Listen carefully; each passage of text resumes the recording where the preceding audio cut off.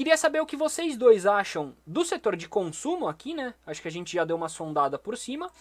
Mas a primeira ação que o pessoal votou na nossa live foi a ação da Magazine Luiza.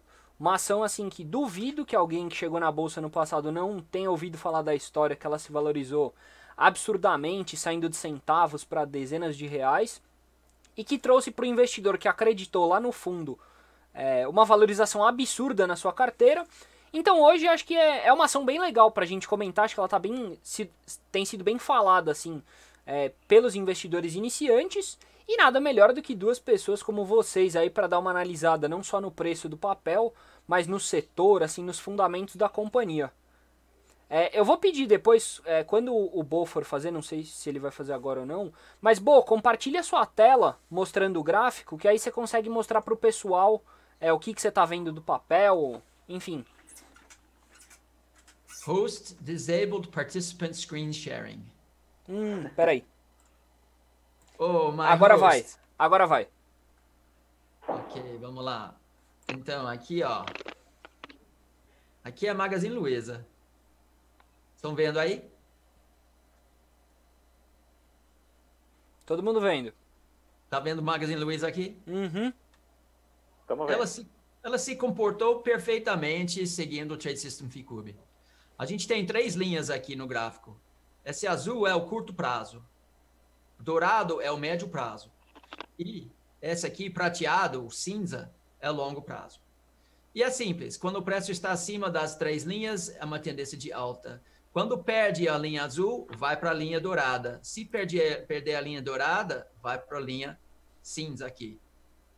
Então, de ponto de vista técnico, fez exatamente o que o Ficub sugeriu. Mas quem teve assim a coragem de comprar ela aqui exatamente no fundo? Dia seguinte, ela já estourou para cima e não deu a relação risco-retorno aqui para fazer a operação. O stop ficou longo e o, o alvo ficou curto. E eu vejo muitas vezes três movimentos na contratendência que retoma a queda. Quando ela chegou em um, dois, três movimentos para cima, eu estava pronto para vender aqui. Só que ela entrou numa condição técnica onde é proibido vender.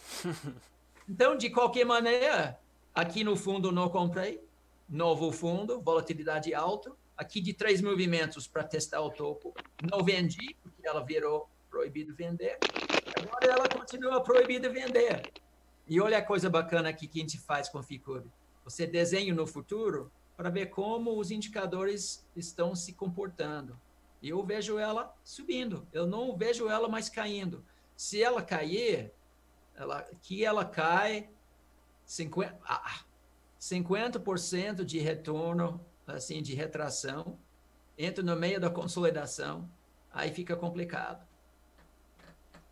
O que é uma coisa que a gente normalmente faz? Está acima da linha dourada? Superou a linha dourada? É compra. Então, por enquanto, ela está compra acima de 50, 48, 50. Não sabemos o que o preço vai fazer, mas sabemos os pontos importantes de tomada de decisão. Então, você tem que ficar de olho aqui para ver se ela vai fazer assim ou vai fazer assim. Mas esse é um ponto, acima desse ponto aqui é para comprar. E aí, se ela continuar fazendo topos e fundos ascendentes, os, todos os indicadores sugerem a retomada da tendência de alta aí. Poxa, maravilha, Bo. É uma dúvida aqui.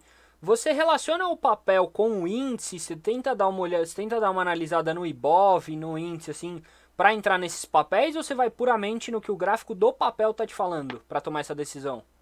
Não, eu te mostro de novo aqui rapidinho. Então, ó, nós temos uma ferramenta que rastreia todos os nossos setups, é o Prisma.